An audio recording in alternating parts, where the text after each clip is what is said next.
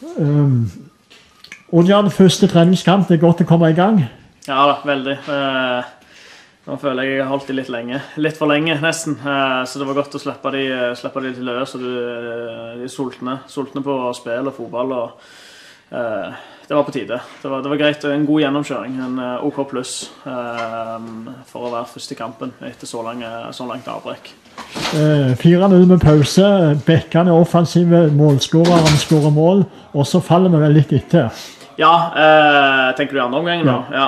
ja men, men, Nå fikk jeg ikke med meg det første målet, så det får jeg se på video etterpå. Men eh, eh, vi kommer nok litt ut og tror at kampen Det er litt samme problem som vi har hatt i, i fjorsesongen òg, at vi, vi, kommer litt ut og er egentlig ikke helt påskrudde. Eh, men, men, vi henter oss fort inn og uh, tar en profesjonell uh, avslutning på kampen. Det gjør vi. Så i sum en del plusser?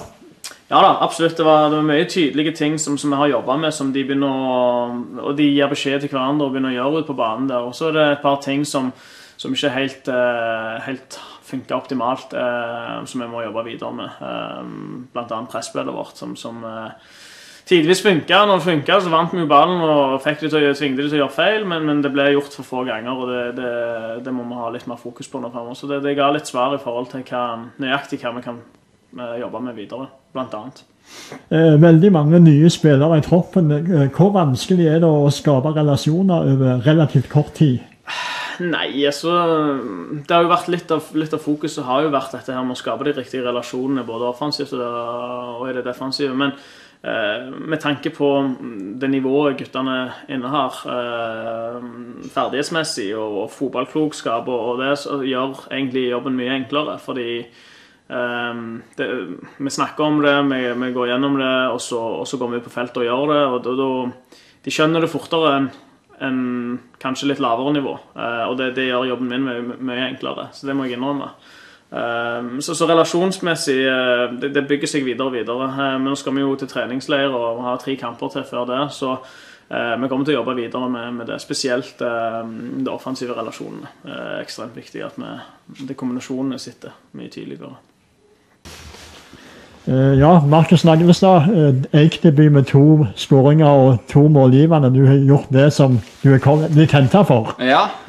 Nei, det var en fin debut og fint å komme i gang. Og første kamp er alltid ja, litt spesiell, men ja, begynner å nærme seg seriestart, og da må vi få noen matcher i beina. Litt, litt lang oppkjøring før kampene begynner. Hvordan har det vært? Eh, nei, det har vært nytt, men det har fungert fint. Vi har trent veldig godt. både fysisk og i alle faser av spillet. Så det begynner å se bra ut, så nå trenger vi bare litt eh, kamptrening. Kom fra Hødd, et lag som var ca. på samme nivå som oss i fjor. Ja. Eh, hvordan ser det ut, nivået her i Eik kontra det du hadde i Hødd?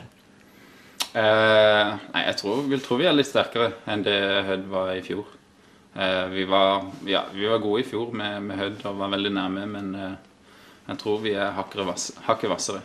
Mm det med mange nye spillere i troppen, eh, hvor lett eller vanskelig er det, det der å forme relasjoner på relativt kort tid?